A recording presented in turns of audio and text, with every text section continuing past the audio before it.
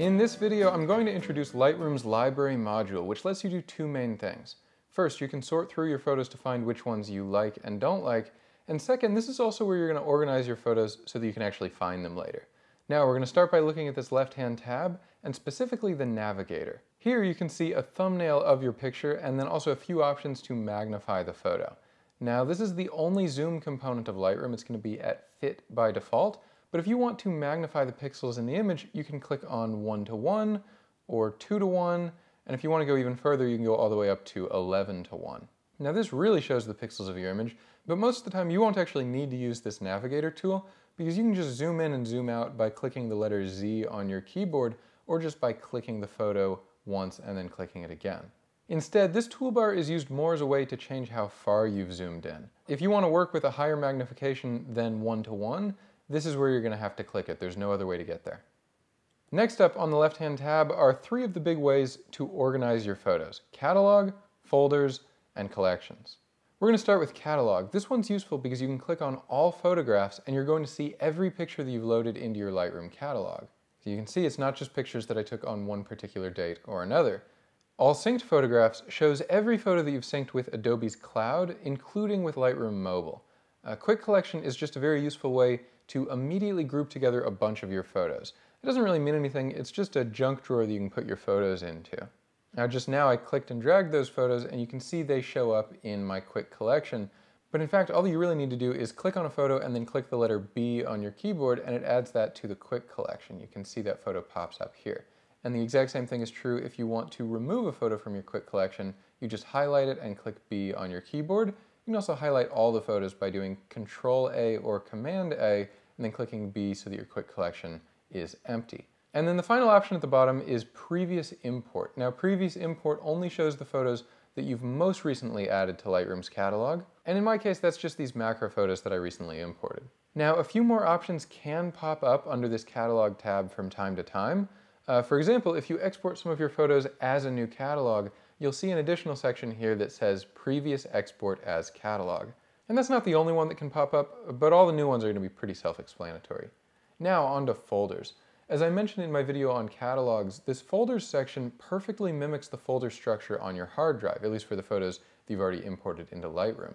Now one thing that I do want to demonstrate is that if you right-click on any folder, then you can go to Show Parent Folder, and then that pops up in Lightroom as well. In this case, it's my 2020 folder. You can see that 2020 has both 03 March and 04 April.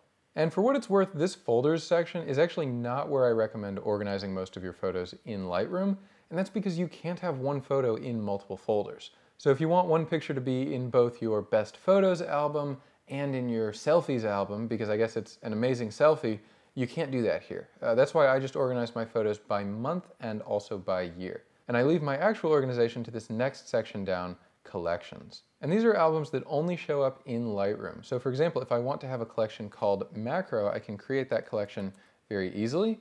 I click create and it pops up there. Now it automatically adds the photo that I've just highlighted, but if I want to add more pictures, I can go into this 04 April folder where I know that all of my macro photos are, and I can click Control A or Command A to highlight all of them, and then drag them into that macro collection.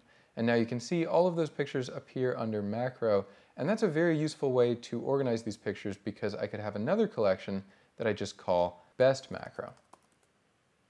I click create, and then I can go through specifically to add which photos I think are the best macro photos. I can click and drag those into best macro, and then I'll have those in both collections simultaneously. And Lightroom also lets you make smart collections automatically by taking all the photos, for example, that have a five star rating or all the photos that you've added in the past month.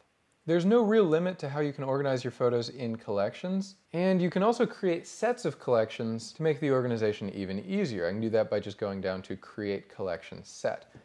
For example, I can create one that's called Photography Life Workshops, and I click Create. Now that shows up as a collection set. You can't actually add photos to the collection set itself. You've got to create a collection within it. So I create a collection, maybe I'll call it 2020 Jordan. I click create and that now shows up within it.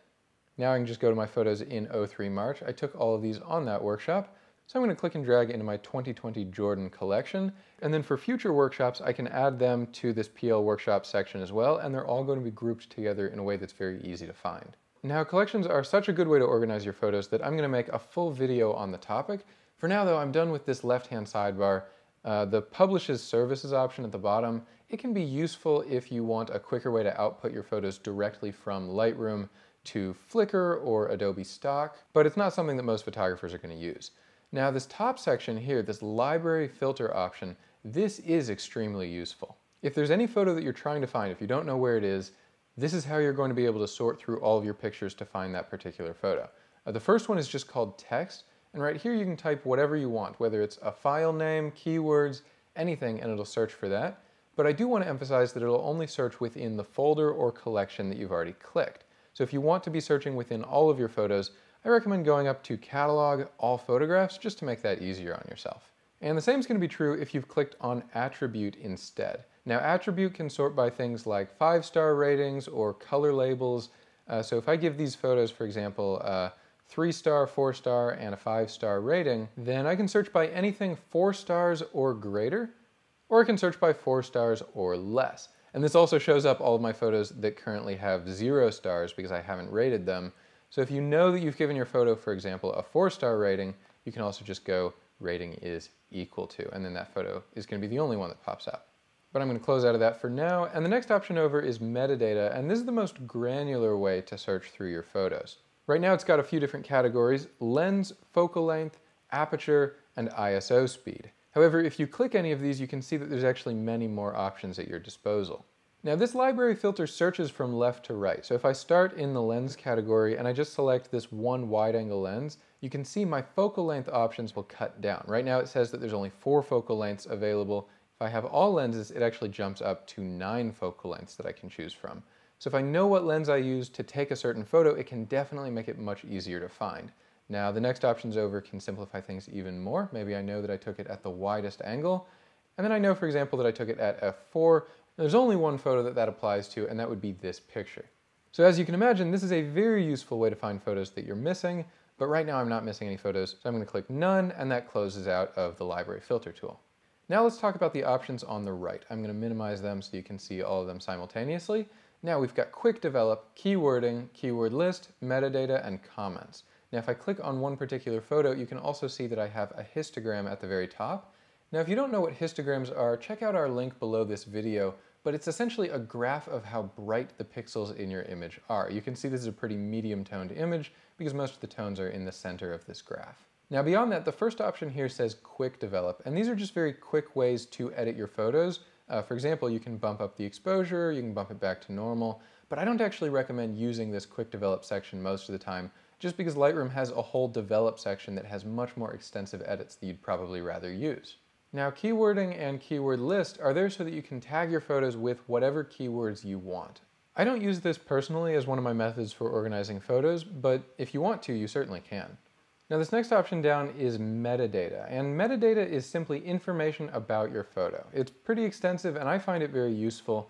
Uh, you can see everything from your exposure compensation to your metering mode, really anything that you want to know about your photo. This is also a spot where you can apply a metadata preset if you didn't do that when you imported your photo. Now, the last option down is comments, and these are not actually comments that you can leave on your own photos. Uh, if you do want to leave a comment on your photo, there's a section under metadata called user comment that you can do just that. Instead, this is only relevant if you've uploaded your photos directly from Lightroom to something like Flickr or Adobe Stock and someone else leaves a comment. Uh, so it's not going to be super relevant to most photographers. Now there's also a bottom tab that you can pop up if you want to see a really small thumbnail view of your photos. This is called the film strip and you can see it's potentially a useful way to both have a full screen view and a grid view of your photos at the same time. However, I don't actually use this on my laptop because it takes up too much space, so I minimize this by default. And these buttons at the bottom, those just cycle through a few different views of your photos. Uh, so if I click on that, you can see right now I'm in this grid view. I've been in this a few times already.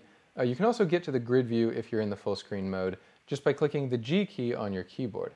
Now I'm going to highlight four photos because that's going to be a useful demonstration in just a moment. But for now, let's go back down to this second option. This is just the full screen view, we were on it earlier, and if I switch between the photos using the arrow keys on my keyboard, you'll notice it only cycles through the four photos that I've highlighted. Right now I'm only clicking the right key on my keyboard over and over. So that's something useful if you know that you've got a couple photos you want to look through. Next one over is the compare view, and it pops up two of the photos side by side so you can compare them more easily. Now if you zoom in on one photo, both actually zoom in, so this can be a useful way to tell which of your pictures is sharp if you've got two that look very similar. The next choice is called the survey view, and this shows all four photos that you've highlighted simultaneously. However, in this view, you can't actually zoom into the photos. If I just click zoom, it actually bumps me back over to the full screen view. So instead, this is more if you want to compare something like a thumbnail style view, but only with those four photos. And you can also hide the ones that you don't want by just clicking X. So if you're working with a fairly large monitor, this can be a decent way to see all of your photos at once. But if you're working on something like a laptop, you probably won't be using the survey view most of the time. Now the final option at the bottom is the people view, and this searches by the faces that Lightroom detects in your photos. Now if you're a portrait photographer, you might want to check this out, uh, but I'm going to leave it be just for now. I'm going to click that G key on my keyboard to go back to the grid view. And that sums it up for the library module. Now I might do some future videos on more specific topics in the library module, but I hope that you found this one useful, and I'll see you next time.